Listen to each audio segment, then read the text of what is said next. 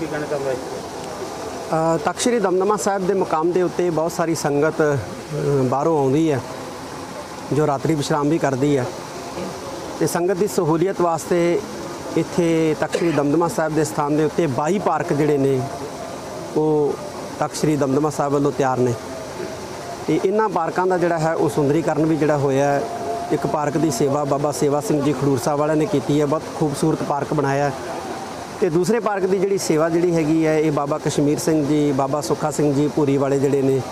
ਉਹਨਾਂ ਨੇ ਜਿਹੜਾ ਉਹ ਕੀਤੀ ਹੈ ਔਰ ਬਹੁਤ ਹੀ ਖੂਬਸੂਰਤ ਪਾਰਕ ਦੇ ਵਿੱਚ ਜਿਹੜਾ ਇੱਕ ਫੁਹਾਰਾ ਜਿਹੜਾ ਹੈ, ਉਹ ਬਣਾਇਆ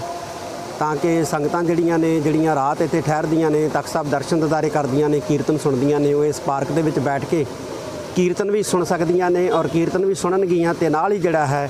ਇੱਥੇ ਜਿਹੜਾ ਵਾਤਾਵਰਣ ਸਿਰਜਿਆ ਗਿਆ ਮਨਮੋਹਕ, ਉਹਦਾ ਵੀ ਜਿਹੜਾ ਉਹ ਆਨੰਦ ਮਾਣਨਗੀਆਂ। ਮੈਂ ਬਾਬਾ ਕਸ਼ਮੀਰ ਸਿੰਘ ਜੀ ਪੁਰੀ ਵਾਲੇ, ਬਾਬਾ ਸੁੱਖਾ ਸਿੰਘ ਜੀ ਔਰ ਇੱਥੇ ਜਿਹੜੇ ਬਾਬਾ ਜੀ ਵੱਲੋਂ ਸੇਵਾ ਕਰਵਾ ਰਹੇ ਨੇ ਬਾਬਾ ਚੀਤਾ ਜੀ, ਮੈਂ ਉਹਨਾਂ ਸਾਰਿਆਂ ਦਾ ਤਹਿ ਦਿਲੋਂ ਧੰਨਵਾਦ ਕਰਦਾ। ਵਾਹਿਗੁਰੂ ਜੀ ਕਾ ਖਾਲਸਾ, ਵਾਹਿਗੁਰੂ ਜੀ ਕੀ ਫਤਿਹ।